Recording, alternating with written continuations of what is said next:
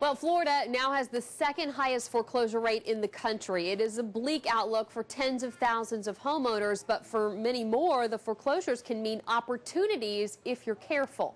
Throughout this month, we're going to be looking at real estate issues that affect our area. In tonight's installment of Real Estate Reality, CBS 12's Lindsay Cohen shows us some of the red flags to watch out for. It is another day in the office for West Palm Beach's Alan Murphy. A longtime local businessman was looking for a way to finally put his hard-earned money to work for him. Since I am starting out as an investor, that I wanted to, to buy a property where it would cash flow right off the bat. He saw that cash flow in this townhome located in the villages of West Palm Beach. The home was in foreclosure, and the bank accepted Murphy's bargain basement offer of $75,000. The deal was all but done until the bank returned with this contract.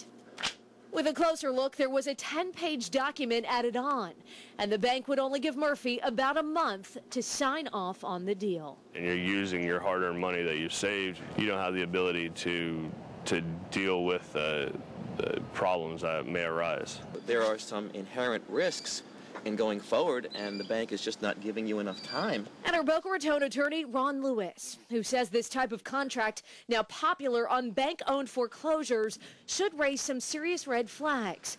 Whether you are looking for an investment or finally seeing a price on a home you can now afford.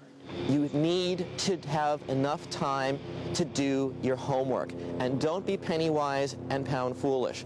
An eager buyer or a first-time investor could easily get wrapped up in the allure of a premium property at a paltry price without taking the time to do the homework.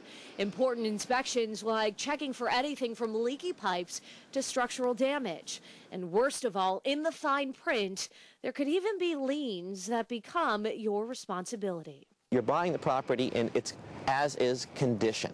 You take it and that's it. Back at his Clematis Street store, Murphy is hard at work. He walked away from the investment property after learning the lessons in the fine print. There's always another deal around the corner. Well, we want to emphasize that not all bank-owned foreclosure deals end up this way. And when in doubt, it is always best to ask the advice of the experts. Lindsay Cohen, CBS 12 News.